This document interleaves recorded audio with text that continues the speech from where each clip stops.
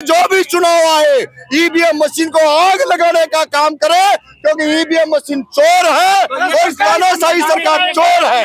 जब ballot paper चुनाव नहीं कराते तो हमारे पास ऑप्शन है उसको आग लगाने का, उसको तोड़ने का और इनके पास जेल भेजने का है। तो हम तैयार बैठे हैं। हम जेल जाने के लिए तैयार बैठे हैं, लाठी खाने के लिए तैयार बैठे हैं।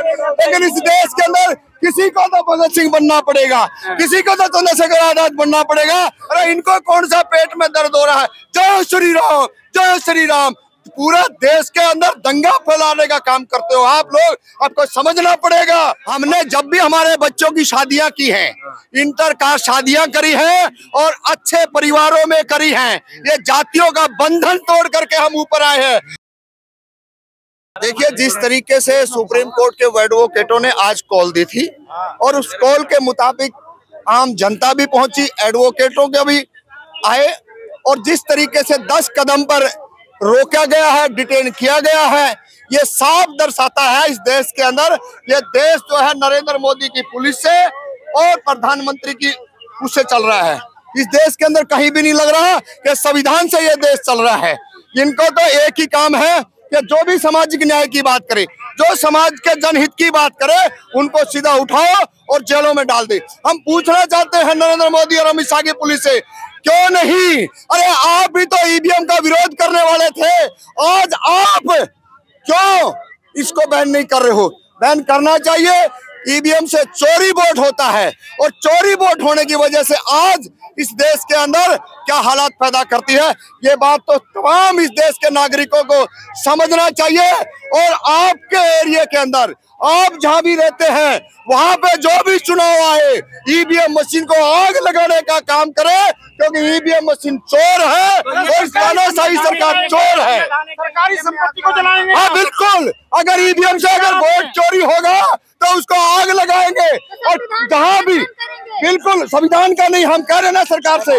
आज सरकारों से हम कह रहे हैं कि आप ईवीएम मशीन से ना चुनाव कराएँ। आप बैलेट पेपर से चुनाव कराएँ। जब बैलेट पेपर से चुनाव नहीं कराते तो हमारे पास ऑप्शन है उसको आग लगाने का उसको तोड़ने का और इनके पास जेल भेजने का है। तो हम तैयार बैठे हैं। तो चुनाव आयोग पर भरोसा नहीं है? अरे नहीं है ना भरोसा। भरोसा होता तो आज ये ये हालात होती। ये तमाम तरीके जब भी कोई बात करता है सामाजिक की उसमें सबके सब ये ऐसे ही करते डिटेन करते। इस देश के अंदर बोलने तक का ऊपर बैन हो चुका है। आप देखिए, पार्लियामेंट के अंदर जो बच्चे गए हैं, उनके ऊपर क्या क्या धाराएँ लगा दी है? ये तानाशाही सरकार है।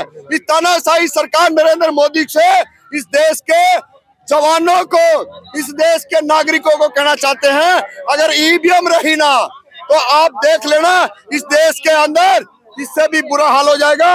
आपको ना बोलने दिया जाएगा, ना नौकरी होगी, ना आपकी जमीनें होंगी, क्योंकि आजकल ये जमीनों के ऊपर जिस तरीके से कब्जा कर रहे हैं ये सारा का सारा देश दुनिया के सामने है।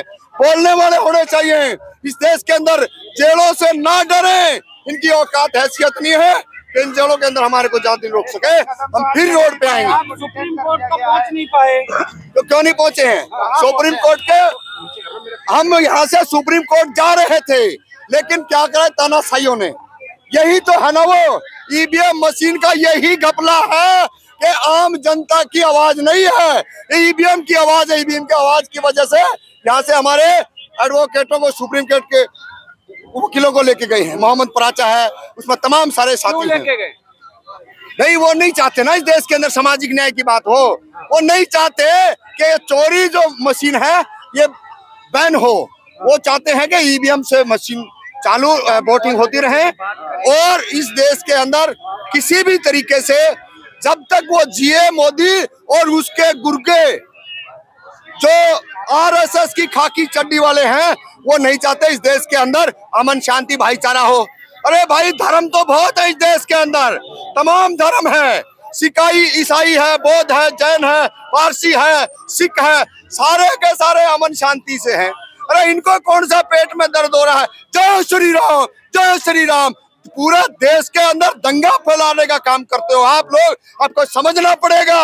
और ऐसी हरकतें अगर करोगे तो इस देश के अंदर मंदिर से आपको दिक्कत क्या है? अरे हमने दिक्कत है ना। हाँ बताइए। भाई हमने बहुत दिक्कत है। और भी धर्म है। और भी धर्म है। वो जिस तरीके से जीवन यापन अपने बच्चों को संस्कार देते हैं ऐसे दो भाई ये क्या है? ये पूरे का पूरा आपने एक लॉबी तैयार कर रखी है। ये चीज़ है देश में करने की। आप इस पे क्यों नहीं बात करते? आप करिए ना ईवीएम के ऊपर। आप जो आम दलितों के साथ शोषण होता है, पिछड़ों के साथ शोषण होता है, उन पे बात क्यों नहीं करते? आप राजनीतिक हिस्सेदारी की बात क्यों नहीं करते? आप इस देश के अंदर जन जंगल ज़मीन की बात क्यों नहीं करते? आपने जो मेन विषय है उन पे बात करना चाहिए ना कि एक प्रोपगंडा इस देश के अंदर फैलाया जाए। राम मंदिर प्रोपगंडा है। कि हम उसको नहीं मानते। हमने जब भी हमारे बच्चों की शादियाँ की हैं इंटर कास्ट शादियाँ करी हैं और अच्छे परिवारों में करी हैं ये जातियों का बंधन तोड़ करके हम ऊपर आए हैं और इस समाज के अंदर एक संदेश देना चाहते हैं भाईचारे का कि इनसे आप बच कर रहिए। ईवीएम हैक होती है। इन्हीं ने जंतर मंत्र के ऊपर बताया और इस देश के अंदर तमाम लोगों ने बार बार आकर ये कहा है कि देख लिए यहाँ पे केला और सेब किस किसी तरीके से पर्ची करते नहीं और काला शीशे का। ये इस देश के अंदर हालात बद से बदतर हो जाएँगे तभी आप यहाँ पर सड़कों पे बोल ये नहीं डेमोक्रेसी है। इस देश के इस देश के बाबाओं ने कहा है कि इस देश के अंदर हम शंकराचार्यों को मानते हैं। हमारे वो है डेमोक्रेसी के मालिक तो ये तो सारी तानाशाही मचा रखे हैं चुनाव आयोग कह रहे हैं सब उलझुल बातें हैं जनता को मत भरा- भरमाइए इस बातों से। आपकी भी गिरफ्तारी की तैयारी हो रही है क्या हम कहेंगे आप तैयार हैं। हम जेल जाने के लिए तैयार बैठे हैं। लाठी खाने के लिए तैयार बैठे हैं। लेकिन इस देश के अंदर किसी को तो भगत सिंह बनना पड़ेगा किसी को तो चंद्रशेखर आज़ाद बनना पड़ेगा लेकिन इस जगह पे ये हालात देख करके हम अब बैठेंगे नहीं लगातार इस देश के अंदर ईवीएम मशीन को लेकर के सरकारों को घेरेंगे जनता को जागरूक करेंगे और बोलेंगे कि आप बगैर ईवीएम के और वोट जब ईवीएम पर सवाल उठाते हैं पुलिस आपको गिरफ़्तार करती है क्या कहेंगे? ये तानाशाही है नरेंद्र मोदी की। ये तानाशाही से हो रहा है देश के अंदर और धर्म के नाम पे इस देश के अंदर अफीम बोई जा रही है। उस अफीम को लोग चाटते रहे और इस देश के अंदर डेमोक्रेसी की बात ना करे। ईवीएम की जो कोई बात करेगा तो इस देश के अंदर उसको इसी तरीके से घेरेंगे और जोड़ों में डालेंगे। देश में किस जनसंख्या जितनी है उसके हिसाब से ईवीएम से ही चुनाव बेहतर होगा।